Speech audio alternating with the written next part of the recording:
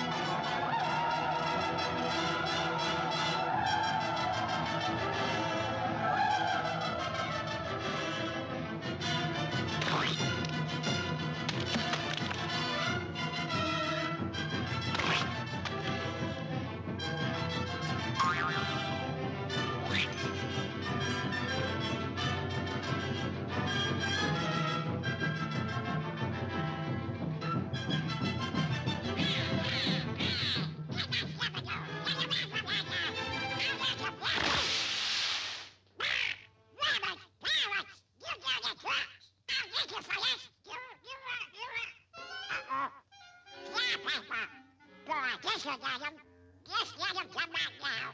I'll stick him in of them.